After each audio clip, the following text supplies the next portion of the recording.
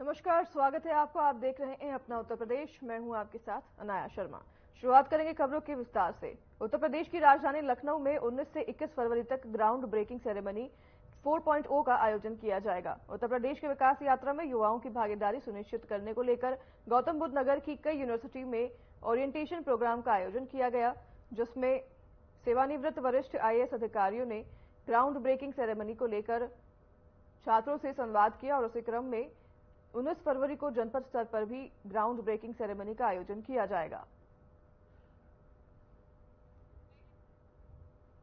Ground breaking ceremony 4.0 का आगाज़ हो गया है। 21 फरवरी तक सेरेमनी का आयोजन किया जाएगा, आपको बता दें। और आईएएस अधिकारियों ने छात्रों से सेरेमनी के दौरान संवाद किए।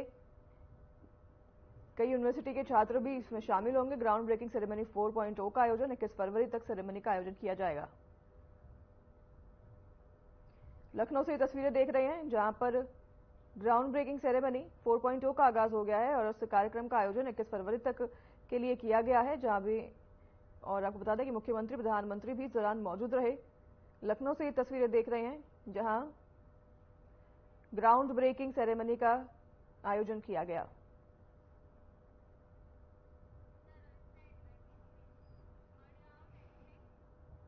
गृह मंत्री अमित शाह ने ट्वीट कर मिजोरम और अरुणाचल प्रदेश के लोगों को राज्यत्व दिवस की प्राथमिकता शुभकामनाएँ दी और उन्होंने कहा कि मिजोरम हमारी सांस्कृतिक टेपेस्ट्री की विविध पच्चीकारी एक जीवंत स्थान है और आगे की प्रगति और खुशहाली की राह पर मेरी शुभकामनाएँ उनके साथ है और उन्होंने आगे कहा कि ये भी कहा कि पीएम मोदी की सर्व समावेशी विकास की नीति ने आश्चर्यजनक प्राकृतिक सुंदरता और जीवन सांस्कृतिक विविधता से समृद्ध राज्य की आर्थिक क्षमता को अनलॉक करने में बहुत योगदान दिया है। वहीं उन्होंने आगे कहा कि आने वाले समय में अरुणाचल प्रदेश के लोग विकास की नई ऊंचाइयों को छुएँगे।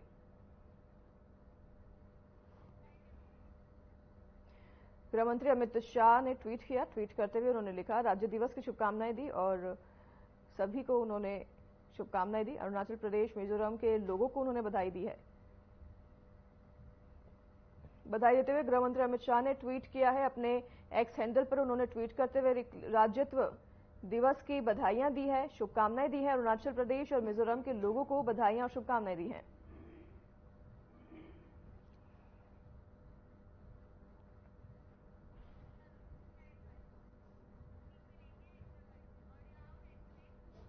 उत्तर प्रदेश में प्रत्यक्ष विदेशी निवेश को आकर्षित करने एवं आर्टिफिशियल इंटेलिजेंस आधारित उद्योगों में अपार संभावनाओं पर मंथन के अंतर्गत ग्राउंड ब्रेकिंग सेरेमनी 4.0 के दूसरे दिन एफडीआई कॉन्क्लेव में मुख्यमंत्री योगी आदित्यनाथ सम्मिलित हुए। देश के ग्राउंड ब्रेकिंग सेरेमनी के चतुर्थ संस्करण के आज के इस एफडीआई कॉन्क्लेव में मंच पर उपस्थित केंद्रीय वाणिज्य एवं उद्योग मंत्री माननीय श्री पीयूष गोयल जी, उत्तर प्रदेश सरकार में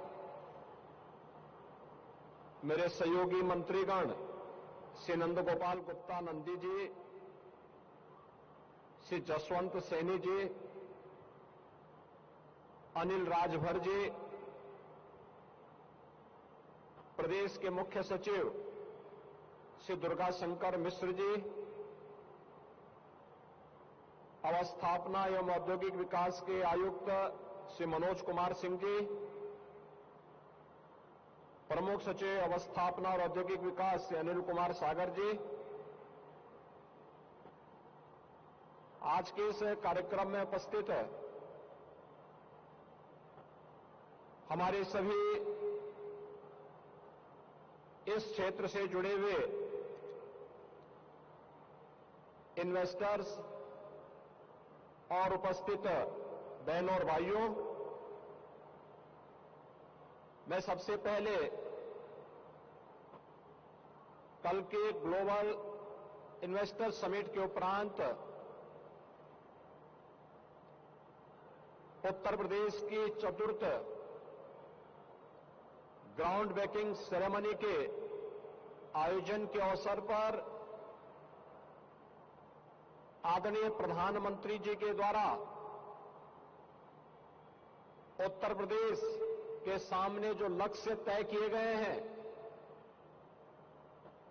उन लक्ष्यों को समयबद्ध तरीके से प्रदेश सरकार प्राप्त करेगी। और आदरणीय प्रधानमंत्री जी के संकल्पों के अनुरूप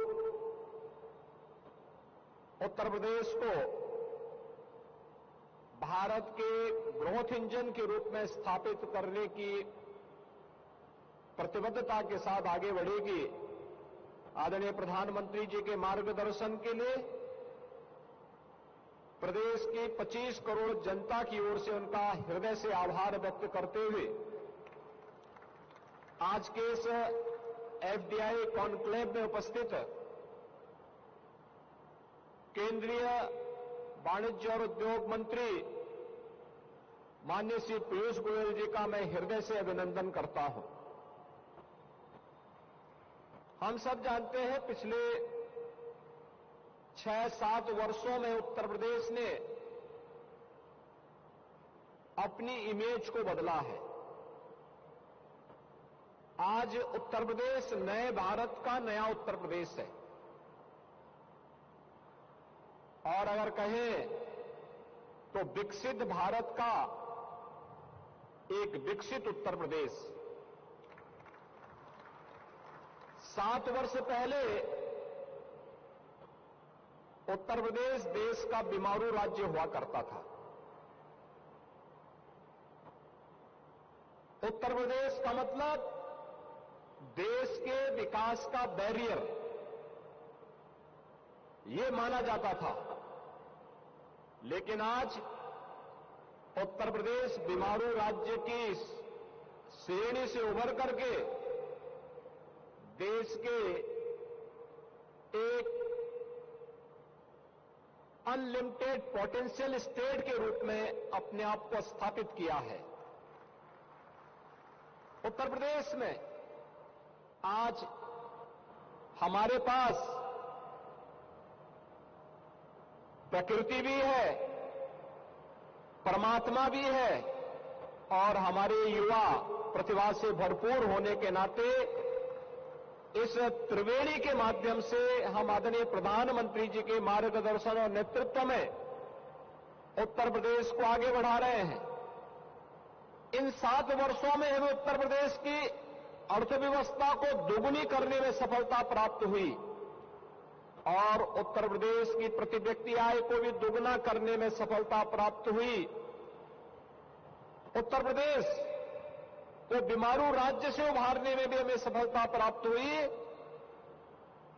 तो इसके पीछे आदरणीय प्रधानमंत्री जी का विजन था, जिसे हम सबने अपने मिशन के रूप में लेकर के और प्रभावी ढंग से अलग अलग सेक्टर की पॉलिसीज़ बना करके, कानून व्यवस्था के बेहतरीन स्थिति प्रदेश के अंदर दे करके जो माहौल बदला, आज उसका परिणाम है कि सुरक्षा के साथ साथ बेहतरीन कानून व्यवस्था 25 सेक्टोरियल पॉलिसीज़ के अलावा, आज मुझे बताते हुए प्रसन्नता है कि ग्राउंड ब्रेकिंग सेरेमनी के इस चतुर्थ संस्करण के साथ उत्तर प्रदेश देश की अब छठी नहीं, बल्कि दूसरी बड़ी अर्थव्यवस्था भी बन चुका है। रेवेन्यू सरप्लस स्टेट के रूप में भी स्थापित है। और एफडीआई और फॉर्चून ग्लोबल 500 पॉलिसी लाने वाला देश के किसी राज्य में से पहला राज्य बन चुका है, जो इस प्रकार की पॉलिसी लेकर के आया है। हम सब जानते हैं कि उत्तर प्रदेश की एफटीआई से संबंधित जो अब तक की स्थिति थी, सन 2000 से लेकर के 2017 तक 17 वर्षों में जितना एफटीआई यूपी में आया था 19 से 23 के बीच में मात्र चार वर्ष में हम उसके चार गुना एफडीआई यूपी के अंदर आया। जब सुरक्षा का माहौल होता है, सरकार की स्पष्ट नीति होती है, नियत साफ़ होती है तो हर निवेशक उस सुरक्षित वातावरण में निवेश करने का इच्छुक होता है। आज ये वातावरण उत्तर प्रदेश के अंदर देखने को मिल रहा है। चौदह फॉर्चून ग्लोबल 500 कंपनियाँ वर्तमान में उत्तर प्रदेश के अंदर कार्यरत हैं। जिनमें सैमसंग है, माइक्रोसॉफ्ट है, एलजी है, पेप्सिको है, नायरा एनर्जी है, रिलायंस इंडस्ट्रीज़ है, टाटा है, हिंदुस्तान यूनिलीवर है, हायर है आइकिया है। ऐसे चौदह फॉर्चून ग्लोबल 500 कंपनियाँ उत्तर प्रदेश के अंदर आज कार्य कर रही हैं, सफलतापूर्वक अपने बिज़नेस को आगे बढ़ाने का कार्य कर रही हैं। और इसीलिए उत्तर प्रदेश ने जब ग्लोबल इन्वेस्टर समिट 2023 अपना आयोजित किया था इसमें 400 बिलियन यूएस डॉलर के निवेश के प्रस्ताव, उत्तर प्रदेश की एफडीआई के ड्रीम डेस्टिनेशन के रूप में उभरने के एक नए संकेत करते थे। लेकिन उनके सामने चैलेंज था और उस चैलेंज को ध्यान में रखते हुए आज जब हम लोगों ने ये पॉलिसी दी है तो इस पॉलिसी के तहत हम लोगों ने लैंड सब्सिडी के लिए कैपिटल सब्सिडी के लिए स्टैंप एंड रजिस्ट्रेशन में और इलेक्ट्रिसिटी ड्यूटी में भी हम लोगों ने जो छूट दी है, यह फॉर्चून ग्लोबल 500 कंपनियों के लिए यूपी एक नया ड्रीम डेस्टिनेशन बनकर के उभरा है। और इस विषय में जितने भी हमारे प्रदेश के अंदर या देश के अंदर या दुनिया के अंदर ऐसे इन्वेस्टर हैं, उन सबको मैं आमंत्रित करूँगा कि वे यूपी में आए, यूपी में अपना सुरक्षित निवेश करें और यूपी की इन सुविधाओं का लाभ भी लें। यूपी आज इस दिशा में कुछ नए प्रयास, नया प्रयास प्रारंभ किया है। खासतौर पर हम लोग देखते हैं कि पहले यहाँ पे सीएम योगी आदित्यनाथ शामिल हुए।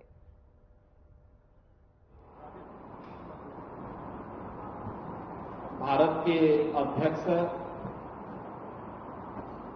श्री अशोक हिंदुजा जी,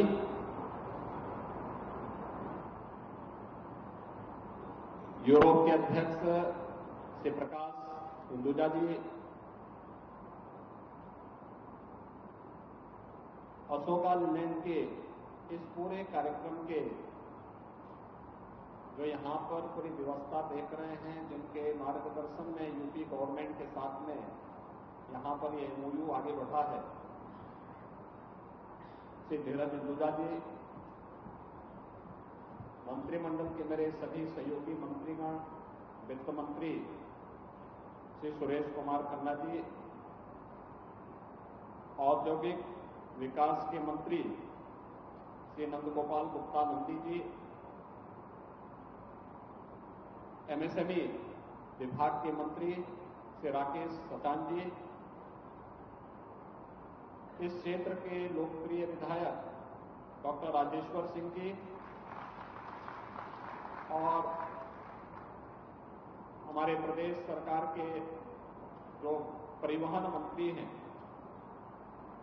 श्री दयाशंकर सिंह जी। दयाशंकर दोनों जगह रहते हैं। यहाँ पर भी और बलिया में भी। प्रदेश के औद्योगिक विकास के आयुक्त श्री मनोज कुमार सिंह जी, हमारे विधायक विकास गुप्ता जी, अन्य सम्मानित हमारे जनप्रतिनिधिगण, यूपी सीडा के हमारे सीओ श्री मयूर माहेश्वरी जी और हिंदुजा ग्रुप से जुड़े हुए सभी अधिकारीगण, कल आदरणीय प्रधानमंत्री जी के कर कमलों से इलेक्ट्रिक व्हीकल का जो प्लांट उत्तर प्रदेश का पहला प्लांट यहाँ पे स्थापित होने जा रहा है जो अशोका लिलैंड के माध्यम से स्थापित होने जा रहा है। इस कार्यक्रम को शुभारंभ करने के लिए आज आपने यह आयोजन किया है। मैं इसके लिए हिंदुजा ग्रुप को अशोका लिलैंड को हृदय से बधाई देता हूँ, अपनी शुभकामनाएँ देता हूँ। प्रकाश जी ने और अशोक जी ने अभी मुझे एक डबल डेकर, इलेक्ट्रिक बस की चाबी सौंपी। मैं चाहूँगा कि चाबी नहीं, बल्कि आप जितने जल्दी हो सके प्रोडक्शन करें। उत्तर प्रदेश का बाज़ार ही नहीं, बल्कि उत्तर भारत का पूरा बाज़ार उनका इंतज़ार करेगा।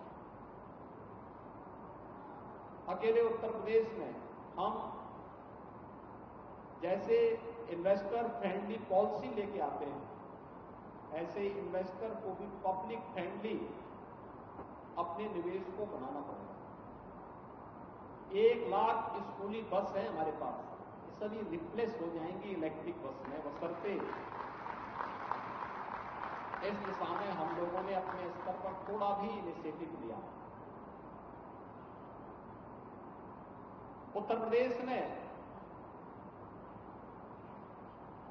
एक लाख पाँच हज़ार से अधिक हमारे पास राजस्व गाँव है। और दो लाख से अधिक मजरे हैं। अगर इन राजस्व एक लाख गाँवों को भी हमें जोड़ना होगा तो भी सस्ती सेवा के लिए इलेक्ट्रिक बस सेवा अच्छी बेहतरीन माध्यम बन सकती है। इसमें हम अपने प्रदेश के तमाम युवाओं को इस सर्विस के साथ जोड़ सकते हैं। यहाँ पे हिंदुजा ग्रुप भी कुछ इनिशिएटिव उठाएँ स्टेट गवर्नमेंट भी इसको आगे बढ़ाएँ। एक एक गाँव को जोड़ने के लक्ष्य के साथ। उत्तर प्रदेश के अंदर गाँव को शहर से जोड़ने के लिए गाँव का प्रोडक्ट शहरी क्षेत्र में आए, छोटे ट्रक्स आपके जो बने हुए हैं, माल ढोने वाले, सामान्य गाँव की सब्ज़ी है, गाँव का फल है, गाँव में कोई, गाँव का कोई उत्पाद है, वह मार्केट में लेके आना है। इलेक्ट्रिक ट्रक छोटे छोटे इलेक्ट्रिक ट्रक जो गाँव की आवश्यकता, या फिर चीलिंग प्लांट के रूप में, अगर हम लोग उस प्रकार के दूध को दुग्ध समितियों के साथ जोड़ करके भी सिटी के अंदर लाने में योगदान दे सकेंगे तो भी एक बहुत बड़ा मार्केट अकेले यूपी आपके पास है। और यूपी का मतलब यूपी नहीं है। यूपी का मतलब बिहार भी, मध्य प्रदेश भी और नेपाल भी यूपी के साथ किसी न किसी रूप में जुड़ा हुआ है। ये सभी राज्य इस सुविधा का लाभ लेंगे। प्रधानमंत्री जी के द्वारा कल जो शिलान्यास का कार्यक्रम संपन्न किया गया है, दस लाख चौबीस हज़ार करोड़ रुपए के निवेश के प्रस्ताव को जमीनी धरातल पर उतारने का कार्य हुआ है। और आज अशोका लेलैंड ने अपने कार्य को प्रारंभ भी कर दिया है। इसके लिए मैं आप सबको हृदय से बधाई देता हूँ। आदरणीय प्रधानमंत्री जी के प्रति आभार व्यक्त करता हूँ विश्वास व्यक्त करता हूँ कि उत्तर प्रदेश का मार्केट आपका इंतज़ार कर रहा है, कितनी जल्दी और कितनी तेज़ी के साथ आप अपने कार्य को आगे बढ़ा सकते हैं। अब यह इस ग्रुप पर निर्भर करेगा। राज्य सरकार अपनी पॉलिसी के अंतर्गत हर इलेक्ट्रिक बस में 20 लाख रुपए तक की इंसेंटिव अपनी ओर से दे रही है। स्टेट गवर्नमेंट की पॉलिसी है इलेक्ट्रिक व्हीकल की हमारी अपनी पॉलिसी अलग है। इन्वेस्टर के लिए भी है और साथ साथ जो प्रक्योर कर रहा है, जो खरीदेगा, उसके लिए भी पॉलिसी हमारी आई है, बहुत अच्छी पॉलिसी है, देश की अच्छी पॉलिसी में से एक है। अगर उसका लाभ उठा पाएँगे, लोग भी उठाने और इन्वेस्टर भी उठा लेगा तो जो प्रधानमंत्री जी का लक्ष्य है कि नेट ज़ीरो के लक्ष्य को हमें प्राप्त करना ही होगा, उस दिशा में यह एक प्रगतिशील कदम होगा। मैं एक बार फिर से इंदुजा ग्रुप को अशोका लैंड को इस पूरे कार्यक्रम के लिए हृदय से बधाई देता हूँ अपनी शुभकामनाएँ देता हूँ। धन्यवाद। जय हिंद। चलिए आपको सीधा ये चलते हैं लखनऊ जहाँ पर ग्राउंड ब्रेकिंग सेरेमनी 4.0 का आयोजन किया गया है जिस दौरान मुख्यमंत्री योगी आदित्यनाथ और प्रधानमंत्री भी मौजूद रहे। पार्टनर जो हमारे डिफरेंट एसोसिएशन हैं उनके सम्मानित प्रतिनिधिगण साथ ही साथ उत्तर प्रदेश गवर्नमेंट के सीनियर ऑफिशियल्स। सबसे पहले मैं विशेष धन्यवाद दूँगा हमारे पार्टिसिपेटिंग डिपार्टमेंट्स को, महिला कल्याण, social welfare, basic education, agriculture, dairy, SRLM, NEDA, medical health and education, sports department, industries department एवं इन्वेस्ट यूपी को। साथ ही इस पूरे कॉन्क्लेव को सक्सेसफुल बनाने में बहुत बड़ा योगदान रहा है, जो हमारे डेवलपमेंट ऑर्गेनाइजेशन हैं, विशेष रूप से यूनिसेफ और आईएचएटी यूपीटीएसयू को। इसके साथ ही साथ हमारे जितने सीएसआर के रिप्रेजेंटेटिव ऑफिशियल्स को आज सम्मानित किया गया, उनको मेरी ओर से बहुत बहुत बधाइयाँ। साथ ही साथ आप सभी सम्मानित लोगों को मैं एक आग्रह भी करना चाहता हूँ, जिस प्रकार से इस बार के ग्राउंड ब्रेकिंग सेरेमनी फोर का थीम रहा है, विकसित भारत विकसित उत्तर प्रदेश और एक्सिलरेशन फॉर नेशन हमारा पंचलाइन है।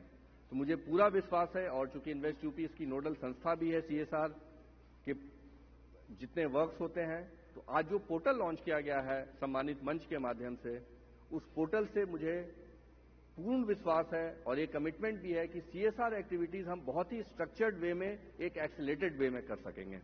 आप सभी से मैं एक बार पुनः तो फ़िलहाल इस बुलेटिन में हमारे साथ बस इतना ही। आपसे लेंगे विदा। नमस्कार।